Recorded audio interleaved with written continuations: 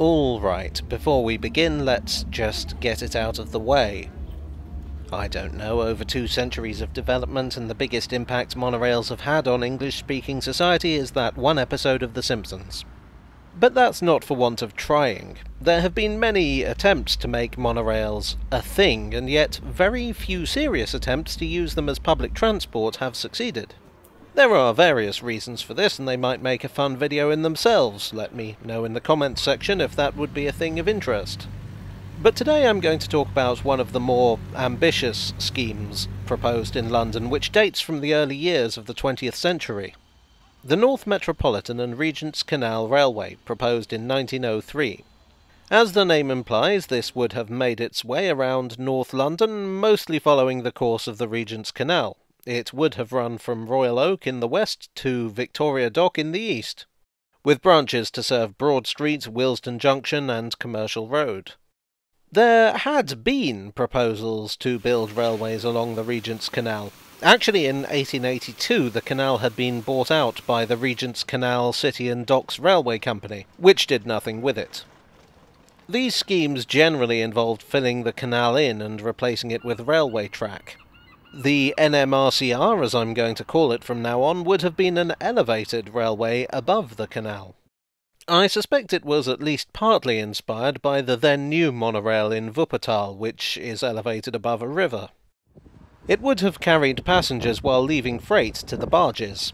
Since passenger transport on the canals was a fairly rare thing in those days, the line posed no threat to the canal itself, at least in terms of competition.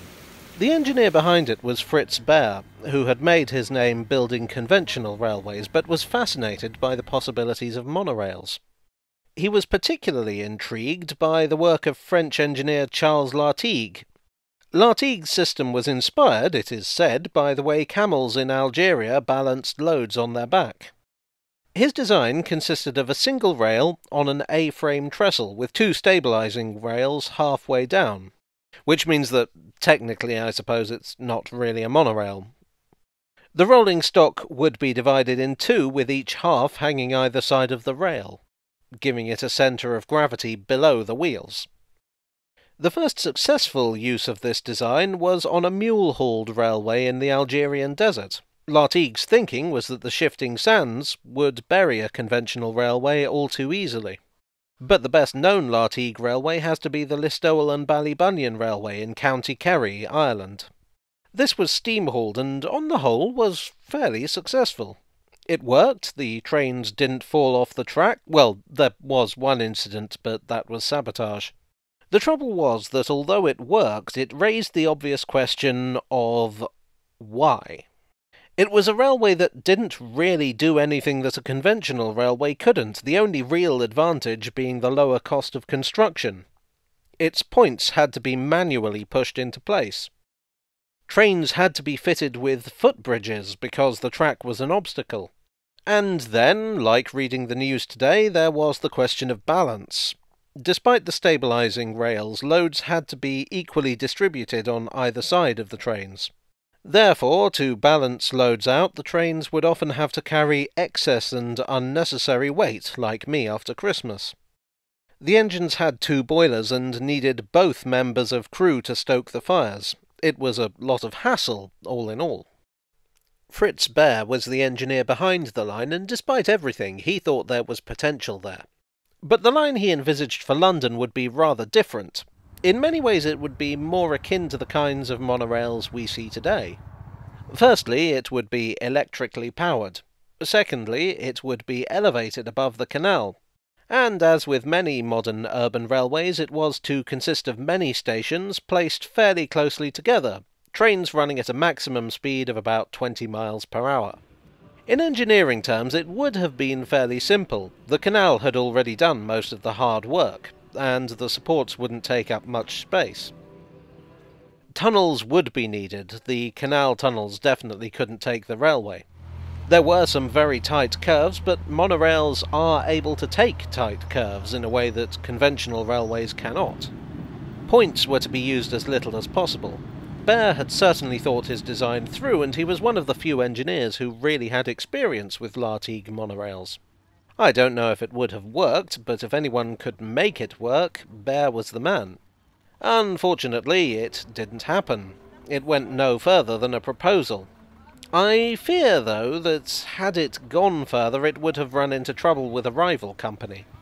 The North London Railway was a company that ran from Willesden Junction to Broad Street and the docks, i.e., much the same route as this railway. They were also a company whose greatest money spinner was commuters, i.e., the same market that the NMRCR was going after.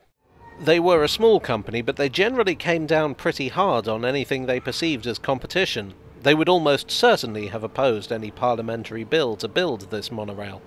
They might not have succeeded, but the North London Railway had the advantage of being well established and, crucially, being a conventional railway.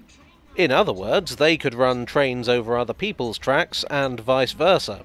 The NMRCR didn't have that flexibility. The North London could also bring in additional revenue through freight, i.e., the market that the NMRCR specifically wasn't touching. But as the 20th century went on, the arrival of trams, buses, and the Underground would bring another form of competition to the North London Railway, one they couldn't fight so easily they would see a decline in passenger numbers as those people chose more direct or cheaper routes. And it's hard to see the NMRCR not running into the same issue. Then there's the NIMBYs. The western end of the Regent's Canal runs through some very classy parts of London, and when it was being built there was plenty of opposition from the wealthy residents. It's hard to see those people being fine with an elevated railway passing just a few yards from their houses. So the North Metropolitan and Regent's Canal Railway was only a proposal. If it had been formally put forward, it would have been opposed. If it had succeeded, it would likely have gone bankrupt. All in all, this isn't so much a might have been as a probably for the best it wasn't.